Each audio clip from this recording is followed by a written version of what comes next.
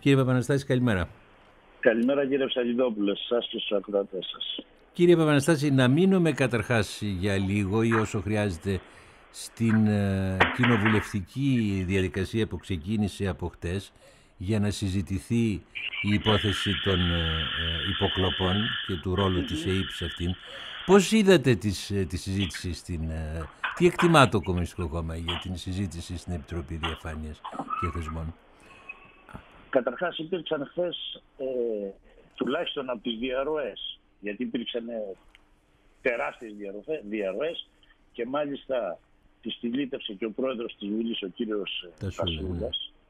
Ναι. Βέβαια δεν είναι η πρώτη φορά. Είναι γνωστό ότι οι επιτροπές που συνέρχονται και σε απόρριτες ε, συνεδριάσεις όπως η Επιτροπή Εξωτερικών και Άμυνας και χθες και αντίστοιχες στη μέση της διαδικασίας ήδη έχουν διαρρεύσει τα το περιεχόμενο. Αλλά ναι, ναι. ναι, το περιεχόμενο. Χθες είχαμε πραγματικά κοινικές ομολογίες, οι οποίες έχουν, αν θέλετε, και την ανατριχιαστική τους πλευρά. Ακούσαμε τον κύριο Δεμήρη, ακούσαμε μέσα από τις διαρροές. Ναι, ναι, ναι, ναι. Τον κύριο Δεμήρη να δηλώνει ότι κανείς δεν εξαιρείται από τις παρακολουθήσεις. Όταν πρέπει, βέβαια, είπε. Όταν πρέπει. Ναι. Αυτό το όταν πρέπει. Είναι ακόμη, είναι ακόμη πιο θολό πιο. Γιατί το όταν πρέπει σημαίνει την ύπαρξη ενός νομοθετικού πλαισίου το οποίο δίνει το νομικό δικαίωμα, το επικαλέστηκε και ο προηγούμενος διοικητής της το ανέφερε και ο Πρωθυπουργός, ότι ναι, γίνονται παρακολουθήσεις, αλλά νόμιμες παρακολουθήσεις. Και αυτό ακριβώς το νομικό πλαίσιο είναι που προβάλλει και το Κομμουνιστικό Κόμμα, ε, γιατί είναι και ε, ε, ένα έργο, ένα ε, δεδομένο το οποίο, στο οποίο έχουν συμβάλει στη δημιουργία του και ο ΣΥΡΙΖΑ και το ΠΑΣΟΚ και φυσικά και η, Νέα Δημοκρατία. και νομίζουμε πως αυτό είναι ένα θέμα το οποίο δεν είναι ανεξάρτητο προσώπων. Δεν έχει σχέση δηλαδή με το αν τώρα είναι ο Δημήτρης προηγουμένως ήταν ο Κοντολέων, αν είναι η κυβέρνηση της Νέας Δημοκρατίας προηγουμένως ήταν η Όλοι το έχουν δουλέψει. Και θεωρούμε και σε σημαντικό βαθμό ε, κροκοδίλια τα δάκρυα, υποκριτικές τις διαδικασίες ε, τις οποίες επικαλούνται ε, γιατί όλοι τις έχουν δουλέψει. Δεν δικαιολογείται ο ΣΥΡΙΖΑ αυτή τη στιγμή να διαμαρτύρεται γιατί πέντε χρόνια ήταν κυβέρνηση. Άρα λοιπόν τι έχει να πει. Ε, και ε, βέβαια οι παρακολουθήσεις συνεχίζονται. Καλά κρατούν.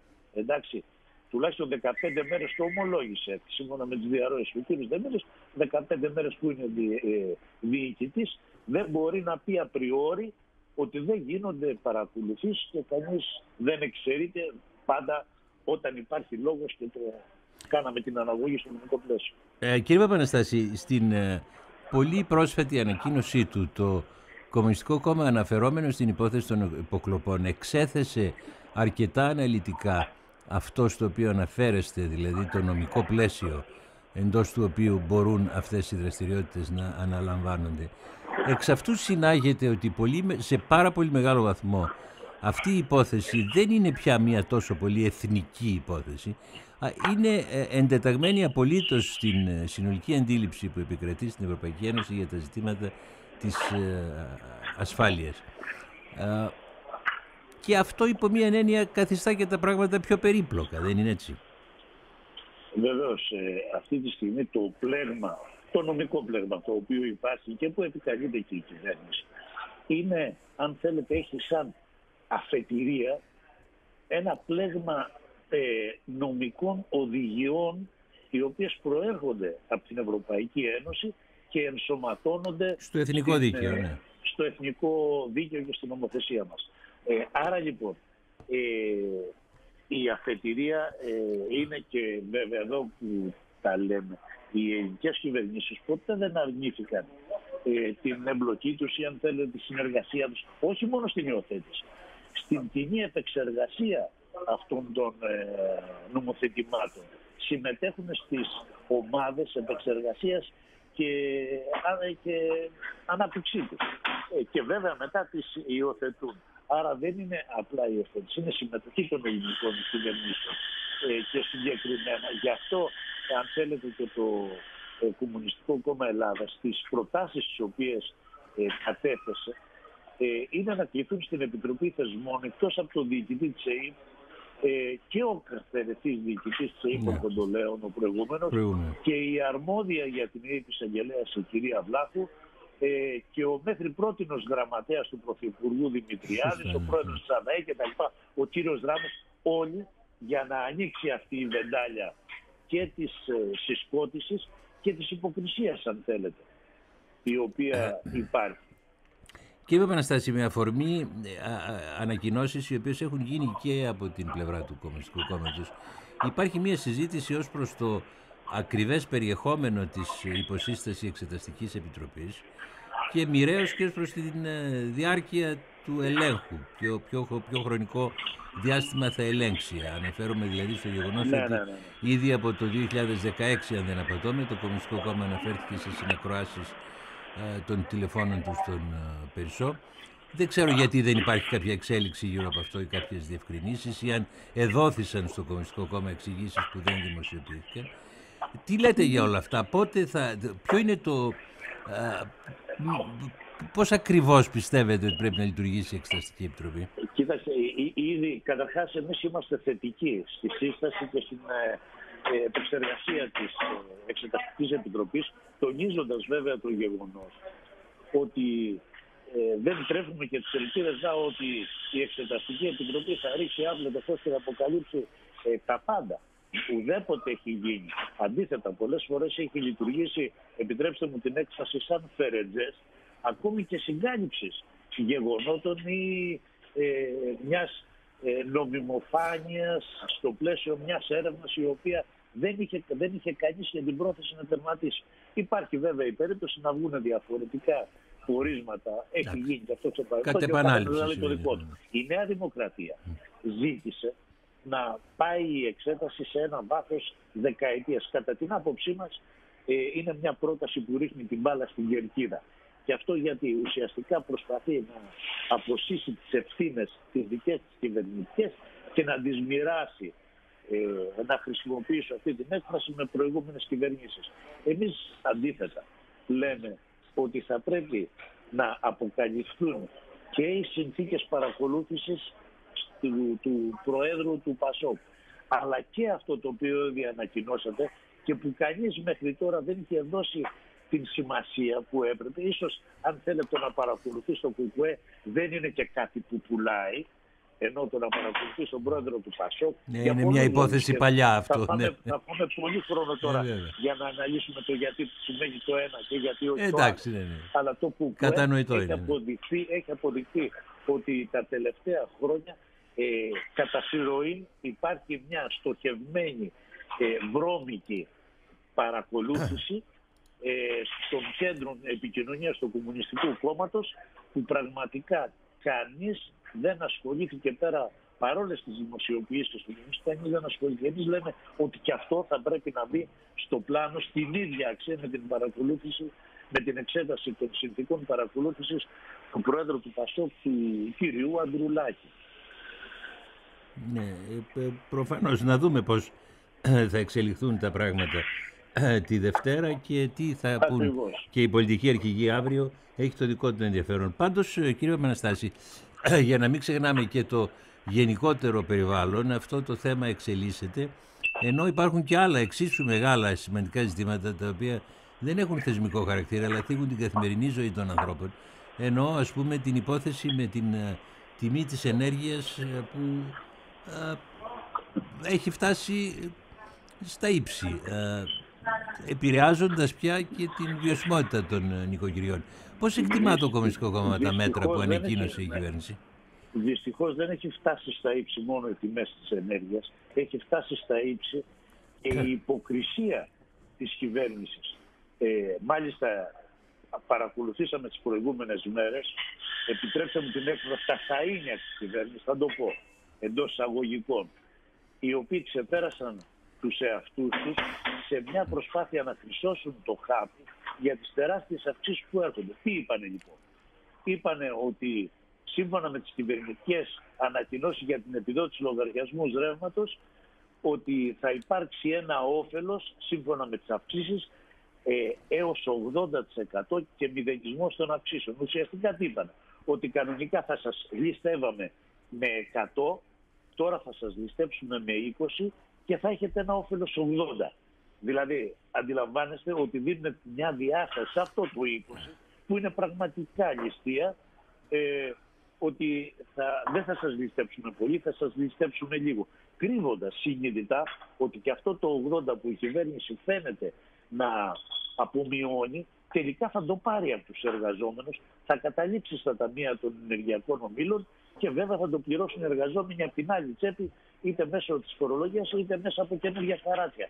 Άρα λοιπόν εδώ πέρα είναι απροκάλυπτη η πολιτική ε, αρμέγματος των εργαζομένων και ενίσχυσης των εταιριών ε, διανομής ε, της ενέργειας. Και βέβαια εδώ πέρα δεν πρέπει να ξεχνάμε, είναι πολύ σημαντικό γιατί όταν βλέπουμε, ε, αν θέλετε, τμηματικά τις αυξήσεις, κάνουμε και την μπάλα. Ότι η μέση αύξηση τιμής της κιλοβατόρας από τον Ιούλιο μέχρι το Σεπτέμβριο του 2022 έχει φτάσει στο 350,8% είναι αδιανόητα. Πραγματικά είναι αδιανόητο. Ναι, είναι εξωπραγματική η αριθμή. Εξωπραγματικό και είναι, ναι, αν ναι. θέλετε, και αποκαλυπτικό του ψεύδους και που, που, που, που πασάρει η κυβέρνηση και όχι μόνο η κυβέρνηση, αλλά και ο ΣΥΡΙΖΑ, οι οποίοι ε, διαφήμιζαν τα ωφέλη της απελευθέρωσης της αγοράς ενέργειας, λέγοντας ότι θα έριχνε τις τιμές ε, αυτής. Εντάξει, πάντα, πάντα. Αυτό είναι ένα επιχείρημα το οποίο ακούγεται πάντα στην απελευθέρωση των αγορών. Μα, ε, εδώ και δύο αιώνες περίπου. Ακριβώς τα λαϊκά νοικοκυριά ξέρουν όμως ότι μόνο πτώση των τιμών δεν είχαν. Ε, αντίθετα, ε, τους έχουν γονατίσει. Κύριε Παπαναστάση, στο πλαίσιο αυτού του προβλήματος διατυπώνονται επίσης ε, ε, σκέψεις, προτάσεις. Στην Ιβηρική Χερσόνησο λίγο το ε, προέβησαν και σε πρακτικότερη εφαρμογή αυτών των ιδιών. Ε, δηλαδή τοποθετήθηκε πλαφόν στο ύψος ε, των κερδών των ε, επιχειρήσεων που εκμεταλλεύονται την ενέργεια. Υπάρχει ένας προβληματισμός για το χρηματιστήριο του φυσικού αερίου. Βεβαίως οι Γάλλοι μας είπαν και χτες ότι δεν μπορούμε να έχουμε και πλαφόν για πάντα. Και πίσω από όλα αυτά υπάρχει εξίσου ένας προβληματισμός για το πώς εξε, ε, εξελίσσεται η γεωπολιτική κατάσταση, ο πόλεμος δηλαδή στην Ουκρανία και ο, ο βαθμός κατά τον οποίο αυτός επηρεάζει την τιμή της ενέργειας. Πώς βλέπετε αυτή την ε, προβληματική; Ε, ναι, θα ξεκινήσω στο, στην απάντηση στο ερώτημά σας ε, ανάποδα το τέλος. Καταρχάς, ο πόλεμος στην Ουκρανία. Ο πόλεμος στην Ουκρανία καταρχάς δεν είναι η, ο μόνος λόγος ακρίβειας της ενέργειας. Ναι, αλλά τι συνέβη. Ε, η πολιτική των Ηνωμένων Πολιτειών και της Ευρωπαϊκής Ένωσης και του ΝΑΤΟ απέναντι σε αυτό, απέναντι σε αυτό ε, ε, τι, τι που οδήγησε στο ε, να απεμποληθεί η δυνατότητα της ελληνικής κυβέρνησης να προμηθεύεται φτηνό ρωσικό αέριο από τη μια πλευρά και να υιοθετήσει την προμήθεια ενός πανάκριβου φυσικού αερίου από τις Ηνωμένες Πολιτείες. Του υγροποιημένου. Ναι, ναι, ναι, του υγροποιημένου φυσικού αερίου. Αυτό είναι αποτέλεσμα αυτών των γεωπολιτικών υπεριαλιστικών, λέμε εμείς, ανταγωνισμών, στο οποίο θα, θα επικρατήσει στην αγορά και στην διακίνηση της ενέργειας. Η Ελλάδα αυτή τη στιγμή δεν έχει κανένα λόγο να επιβάλλει κυρώσεις στην Ρωσία. Εμείς αναγνωρίζουμε ότι η Ρωσία, όπως και οι Ηνωμένες Πολιτείες της Αμερικής είναι υπεριαλιστικές χώρες και οι δύο. Είναι καπιταλιστικές χώρες. Συμμετέχουν σε στρατιωτικούς υπεριαλιστικούς ανταγωνισμούς. Άρα λοιπόν του μεταξύ τους ανταγωνισμούς αρνούμαστε να του πληρώσει ο ελληνικός λαός. Και βλέπουμε λοιπόν την τιμή της ενέργειας να ανεβαίνει, κερδίζοντας βέβαια ε, τα μονοπόλια των ΗΠΑ και γιατί όχι και της Ρωσίας από άλλη πλευρά. Το σίγουρο όμως είναι ότι ο ελληνικός λαός και όχι μόνο ο ελληνικός λαός αλλά και οι λαοί των υπόλοιπων χωρών και των ευρωπαϊκών και ευρύτερα έχουν γονατίσει πραγματικά ε, μέσα από αυτές τις συνθήκες που αυτή η υπεριαλιστική ή γεωπολιτική ανταγωνισμοί έχουν ε, επιφέρει. Ναι. επιφέρει ακριβώς. Ε, βλέπετε διέξοδο σε όλα αυτά σύντομα ή θα περάσουμε πράγματι ένα χειμώνα δύσκολο και ελαφρώς κρύο; Ο χειμώνας αντικειμενικά θα είναι δύσκολος, γιατί είπατε προηγουμένως για το πλαφόν. Ε, ναι, πλαφόν. Όταν όμως ε, το, η τιμή της κιλοβατόρας όπως προανέφερα από τον Ιούλιο μέχρι το Σεπτέμβρη πήγε στο 358% αυτό είναι ροκάνισμα του λαϊκού, ισο, του, του, του λαϊκού εισοδήματος. Άρα και τώρα πλαφόν να μπει Ήδη ναι. τα λαϊκά νοικοκυριά έχουν, έχουν υποστεί τη συνέπεια. Τη ζημιά. Ε, τώρα από εκεί και πέρα τι άλλα μέτρα θα πάρουν, θα το ακριβίσουν και άλλο για να βάλουν ένα έμεσο φρένο στην κατανάλωση. Αυτά δεν τα ξέρουμε. Ναι, το θέμα είναι ότι ο χειμώνας αυτός ε, πραγματικά θα είναι δύσκολος ε, συνεκτιμώντας και την ε, ε, ύπαρξη του κορονοϊού, ο οποίος ουδέποτε εγκατέλειψε ναι, το ναι, μετερίνη της επιθετικότητας, ακριβώς ε, με μια κυβέρνηση να βάζει την αντιμετώπιση του στον αυτόματο, να αρνείται να υιοθετήσει τα μέτρα που προτείνουν οι υγειονομικοί, να πρημοδοτεί το ιδιωτικό σύστημα ε, υγείας και νοσηλείας και να απαξιώνει το δημόσιο σύστημα. Άρα θα είναι ένας χειμώνας αντικειμενικά με διαμορφωμένες συνθήκες πάρα μα πάρα πολύ ε, δύσκολες απάνθρωποι, απάνθρωπες συνθήκες που δεν αξίζουν σε αυτόν τον λαό τον 21ο αιώνα και ε, με συμμετοχή όλων των κομμάτων εξουσίας και όλων όσων τους στηρίζουν. Αυτό θα πρέπει να το λέμε, να το τονίζουμε, γιατί ο ελληνικός λαός δεν έχει μνήμη χρυσόψαρου και γνωρίζει πλέον ή συμμετέχουμε στη διαμόρφωση αυτών των συνθήκων. Κύριε Παπαναστάση, ευχαριστούμε πολύ για τη συνομιλία. Να είστε καλά. Να είστε καλά κύριε Ψαγιδόπουλε και εσείς. Καλημέρα σας. Γεια σας.